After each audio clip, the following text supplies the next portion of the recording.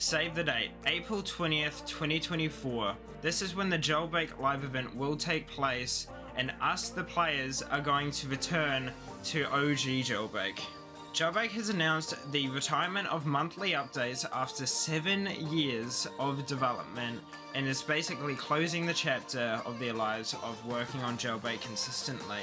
We've seen them branch out to other projects including Rocketeers and that marble game that Asimo made.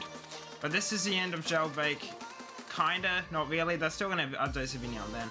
But this is basically the end of monthly updates but they're not going out without a bang. And to celebrate all the players, all the content creators, the game, and the history itself, they will be holding a live event for us to experience. It's gonna be good. So we already had a hunch that something was up because we have got a few teasers now before anything was publicly released. So the first teaser was located in the mansion and it was a sealed off door randomly being added next to a time machine which was kind of strange and we all speculated that something involving time travel would be happening because of that door added. That was only further proven and validified when Teaser 2 came out and the original Garage Tesla back in the day of Jailbreak, I believe 2017 launch jailbreak, the original garage Tesla was being glitched back onto the original spot on the garage and then after a period of time glitching out and fading away for good. This showed that some sort of time machine, time warping was happening and we didn't know why and now we do. And just today, a couple hours ago, the teaser trailer for this live event was released and it revealed some small details. It wasn't huge, but we'll talk about them now.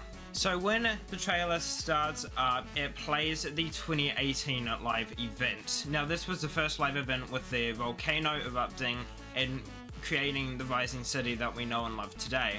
Then it cuts to another TV of 2020, which we had the massive nuke Witherstorm event. Cut back to 2022, it was a big Meteor Live event, and then in front of all the other TVs, there's a big TV showing the Tesla being glitched in and out and saying, and then leading towards this live event. And they're not the biggest details. The biggest details is actually at the end of the video with all the text saying the date and stay tuned. However, there is a sentence that is glitched in and out saying we need to go back. So the question is how will this all happen? How will we go back in time and why are we going back in time? Well, I believe we'll be going back in time for the reason of stopping the CEO, aka the major villain in Jailbreak, from either taking over Jailbreak or destroying it.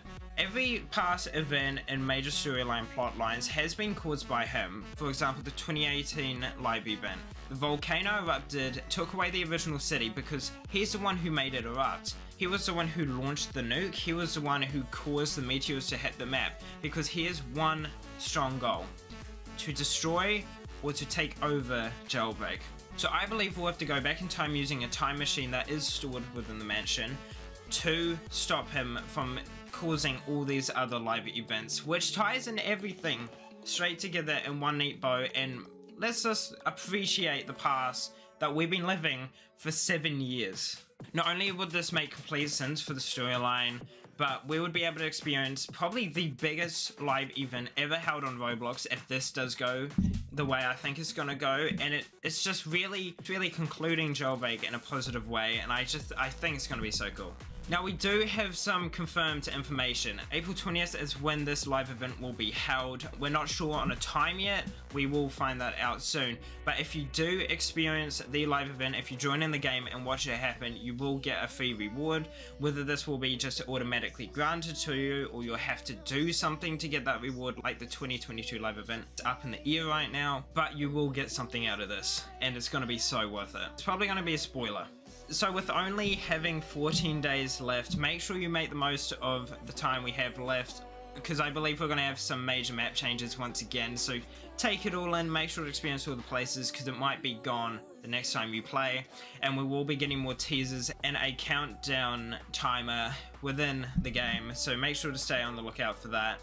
And I will be streaming this live event live on April 20th, so make sure to click the link in the description and stay tuned for that. Um, it's going to be interesting because I have wisdom tooth surgery two days before, so I don't know how I'm gonna sound or even be during that time, but I'm definitely gonna try to give it a shot, so make sure you're there for that. But guys, get prepared, stay tuned to everything. This is going to be huge. I'll see you in the next one, everyone.